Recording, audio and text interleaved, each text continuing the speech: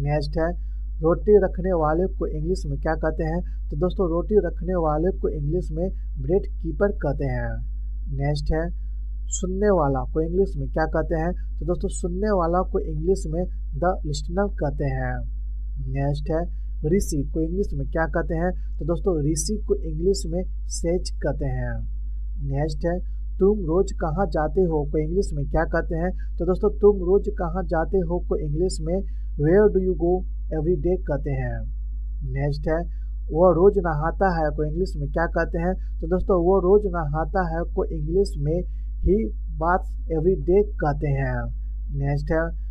वो रोज मंदिर जाती है को इंग्लिश में क्या कहते हैं? तो दोस्तों, वो रोज मंदिर जाती है को इंग्लिश में। She goes to temple every day कहते हैं। नेक्स्ट है। वो रोज मंदिर जाता है को इंग्लिश में क्या कहते हैं? तो दोस्तों, वो रोज मंदिर जाता है को इंग्लिश में he goes to temple every day कहते हैं। नेक्स्ट है, हर रोज को इंग्लिश में क्या कहते हैं? तो दोस्तों, हर रोज को इंग्लिश में एवरी डे कहते हैं।